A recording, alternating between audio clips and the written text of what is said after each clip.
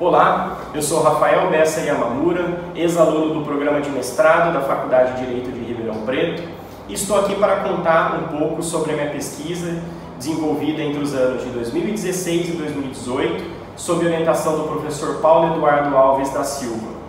O tema da minha dissertação foi a Defensoria Pública como instrumento político de transformação social entre narrativas e práticas profissionais. O objetivo principal da minha pesquisa foi de investigar como os defensores públicos compreendem o papel da defensoria pública e de que forma eles têm conduzido as demandas sociais de caráter político advindas da sociedade civil. A pesquisa, portanto, se enquadra no campo da sociologia política do direito, uma vez que busca analisar, dentro do contexto jurídico-político brasileiro, a dinâmica e atuação da instituição Defensoria Pública frente às demandas apresentadas pelos seus usuários, a partir de estudos e explicações sobre a relação entre direito e política apresentadas pela ideia de direito responsivo. A pesquisa se desenvolveu em dois momentos. A primeira fase da pesquisa, de base empírica, que eu chamo de fase exploratória, nós buscamos levantar dados referentes às ações judiciais propostas pelos defensores entre os anos de 2007 e 2017, bem como analisar o conteúdo das propostas apresentadas e aprovadas pela sociedade civil em três ciclos de conferências da Defensoria Pública. Nessa primeira fase, nós identificamos que houve um grande aumento de ações judiciais propostas pelos defensores públicos nos últimos anos, assim como conseguimos identificar que as propostas apresentadas pela sociedade civil nos ciclos de conferências, elas demandam muito mais uma atuação, em sua grande parte, política do que jurídica. Após essa primeira fase, nós partimos para a segunda fase empírica da pesquisa, que foi a realização de entrevistas semi-estruturadas com 10 defensores públicos em oito unidades distintas da instituição.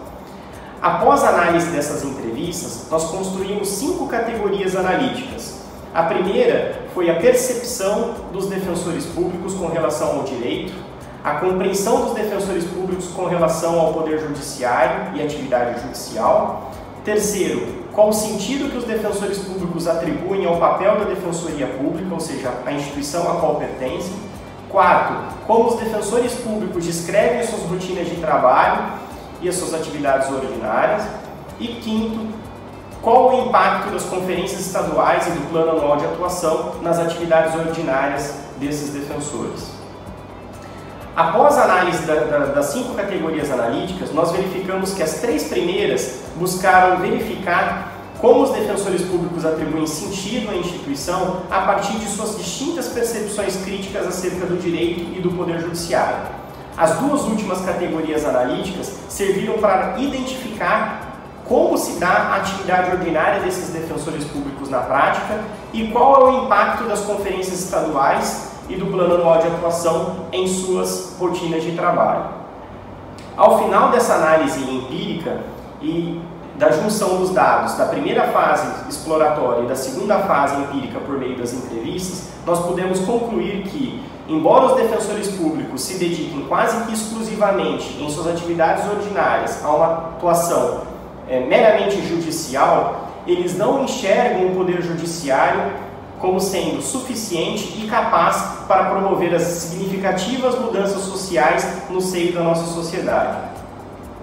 Assim como eles passam então a reproduzir, a serem portadores de um discurso que visa reafirmar a Defensoria Pública como uma instituição capaz de promover transformações sociais no campo político.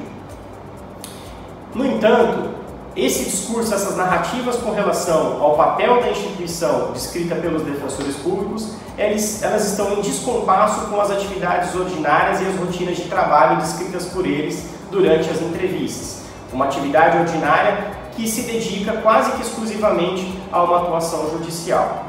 Dessa forma, a pesquisa busca promover uma reflexão crítica acerca da atuação atual da Defensoria Pública e de que forma ela pode se utilizar dos potenciais instrumentos que ela detém para uma atuação que vá além do campo judicial.